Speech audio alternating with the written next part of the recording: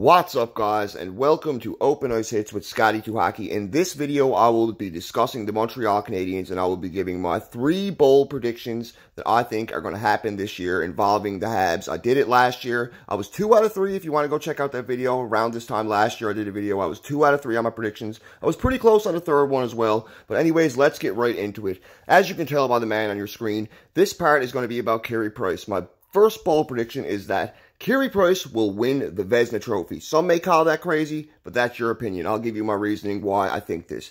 At 34 years of age and coming off of knee surgery this offseason, not his first lower body surgery as well, some fans may not have high expectations for Carey Price, but I personally am not one of those fans. I honestly think Carey Price will be the best goalie in the NHL this upcoming season, and he will win his second Vezina after being an elite goalie for over a decade in this league, Carey Price came only three wins away from finally getting to drink champagne at the Lord Stanley's Cup this year, and I believe this will be enough fuel to spark the fire. We all know Carey Price still has left in him. He's only 34 years old. He's not an old man yet, which is why I expect to see a hungry and focused and on-point Carey Price this year, and I genuinely think if he doesn't win the Vezina, he'll be in the running, but I think he will win that Vezina trophy for my second bowl prediction, and this one will probably be a little bit controversial with some fans because of what happened with the guy this season, leaving for personal reasons, which we all don't know why. I'm going to say that Jonathan Drouin redeems himself this year in Montreal and has an excellent season for the Habs.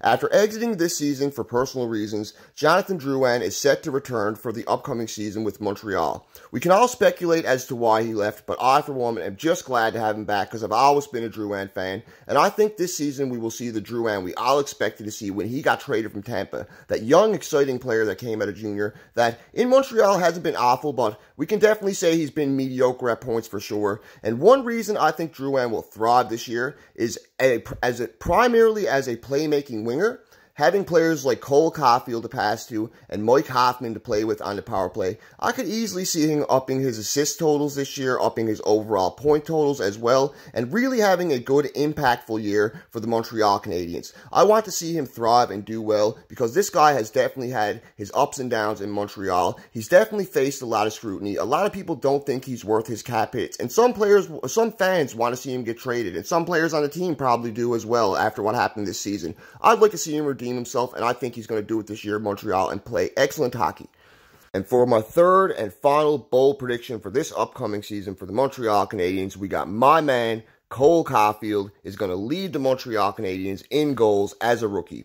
On a team that has solid goal scoring already, like Mike Hoffman, Tyler Toffoli, Brendan Gallagher, I think the young, dynamic rookie Cole Caufield will outscore every other Hab this year it is clear this kid has elite level goal scoring skills and an absolute laser of a wrist shot. His wrist shot is so good, it's up there with like Auston Matthews and Laine level of wrist shot. And what really stands out to me about Cole is his ability to create goal scoring chances out of nowhere and immediately transition up the ice using his speed to blow by defenders and using his silky mitts to fool them in one-on-one -on -one situations and get to the net. We especially seen that in the Vegas series in the playoffs.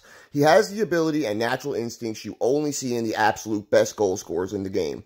I honestly think Caufield will score at least 35 goals this year, if not 30, but I'm going to I'm to think he's going to hit 35 plus goals this year and lead Montreal in scoring as a rookie. And in my opinion, if he does that, he's definitely going to be a Calder candidate as well, if not win the Calder. So I expect big things from Cole Caufield this year. And mainly, I expect him to lead the Montreal Canadiens in goals as a rookie. That's my three bold predictions for this year, guys. Go Habs, go.